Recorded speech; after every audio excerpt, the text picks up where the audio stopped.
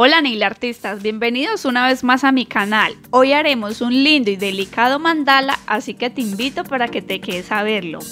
Previamente ya había maquillado mis uñas con color fucsia y para la base del mandala utilicé un color blanco. En el centro de la uña haré un círculo con nuestra pintura negra. Ahora con el punzón nos ayudaremos y haremos puntos de igual tamaño y seguida de ellos haremos una forma de corazón. Este paso la repetiremos sobre todo el borde de nuestro círculo.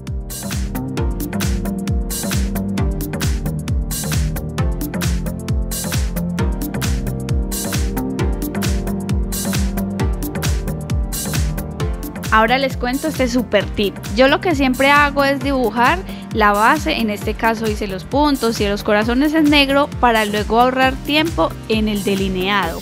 Porque si ustedes se dan cuenta, luego podemos ubicar los colores encima y ya este paso lo hemos ahorrado. Entonces lograremos que el diseño sea muchísimo más rápido de realizar.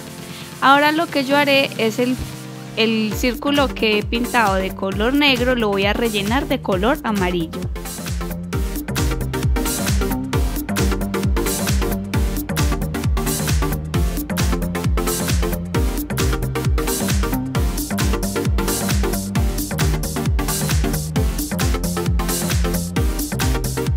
Los puntos los hago de color amarillo y para realzar los corazones voy a colocarle pintura blanca.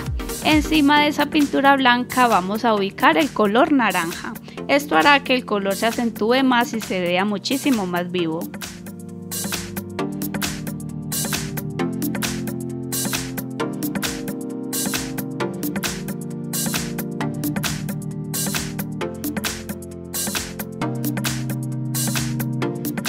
Entre los dos puntos de color amarillo ubicaremos unos de color negro. Esto para que nos ayude más fácil la, la distribución de nuestras hojas. Aquí haremos unos pétalos alargados llevando los dos simétricamente mirando el espacio que tenemos uno entre otro. Ustedes ya pueden realizarlo de la manera que más les guste y con el espacio que manejen.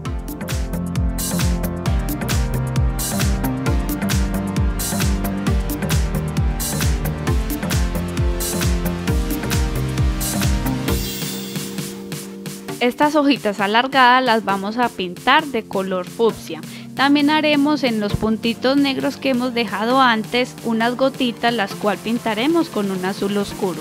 Ustedes pueden jugar con su imaginación, con los colores que más les gusten. Recuerden que esto es solo una propuesta que tengo para ti, pero tú puedes llevar tu imaginación al límite.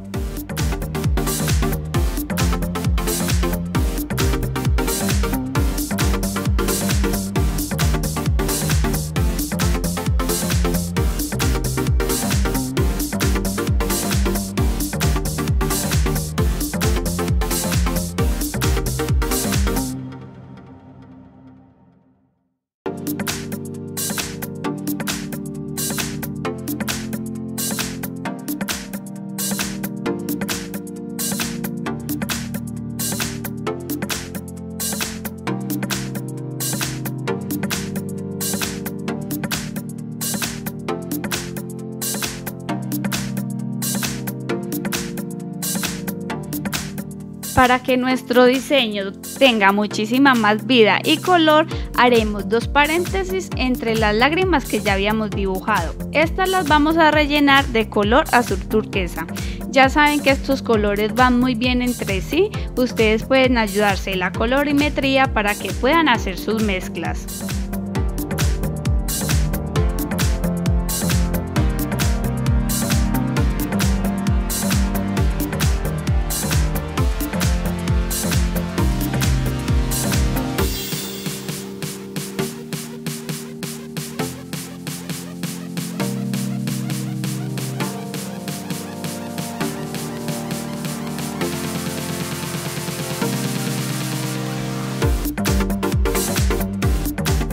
Alrededor de nuestras hojitas alargadas haremos unos puntitos negros.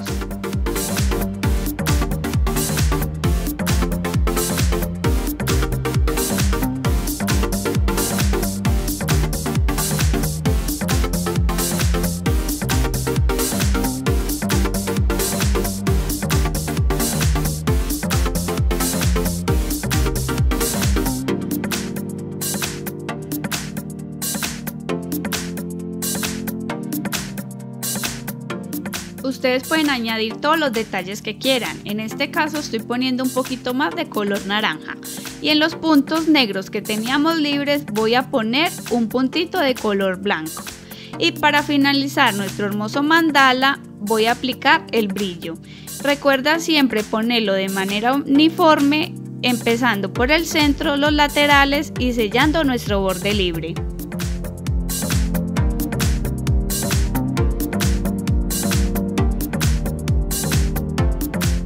Y para hidratar nuestra cutícula y ayudar que el esmalte se seque muchísimo más rápido, aplicamos nuestro óleo regenerador, en este caso con el aroma coco. Recuerda dar un ligero masaje.